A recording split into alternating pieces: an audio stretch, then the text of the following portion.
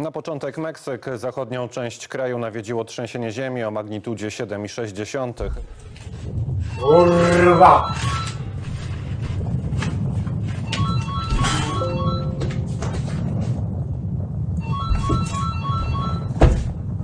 Pierdolę.